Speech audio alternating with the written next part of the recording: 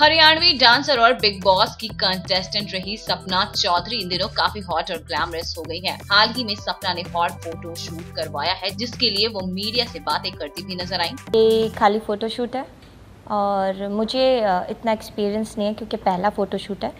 तो जब हो जाएगा तो तब मैं बता सकती हूँ। मैं एक्साइटेड हूँ नर्वस नहीं हूँ। नर्वस क्यों होना?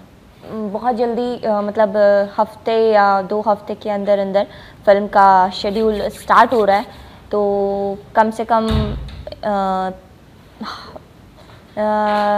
पंद्रह पंद्रह दिन के अंदर फ़िल्म का शेड्यूल स्टार्ट हो रहा है। तो मैं बहुत जल्दी मूवी की शूटिंग स्टार्ट करने वाली हूँ। वो चीज़ें करना चाहती हूँ मैं बताना चाहती हूँ कि बहुत टैलेंट है।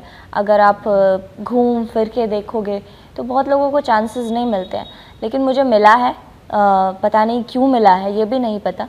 तो मैं चाहती हूँ कि कुछ अलग करूँ, कुछ अनोखा करूँ।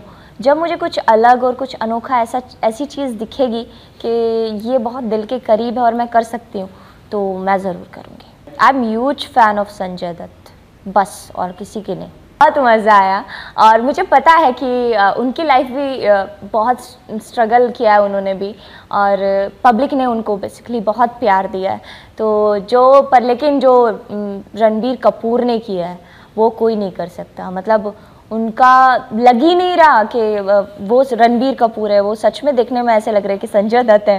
तो बहुत मज़ा आने वाला है। मैं उसके लिए इतनी इतनी पागल हूँ मैं तीन चार दिन लगातार देख सकती हूँ मूवी थिएटर में बैठ के हर शो देख सकती हूँ। सलमान खान की रेस थ्री आने वाली है तो फ़िल्म का ट्रेलर देखा आपने और क्या कहना चाहेंगे? आ, मैंने फ़िल्म का ट्रेलर सच में नहीं देखा। मैंने नहीं देखा। पर आ, मुझे पता है कि जहाँ खान साहब हो वो चीज़ तो देखिए चलनी चलनी है।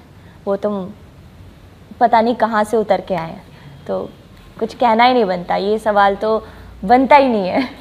बॉलीवुड की अपडेट्स और गॉसिप न्यूज़ के लिए माया पूरी कट सब्सक्राइब करना ना भूलें। और हमारे अपडेट्स जानने के लिए बेल आइकन ज़रूर प्रेस करें।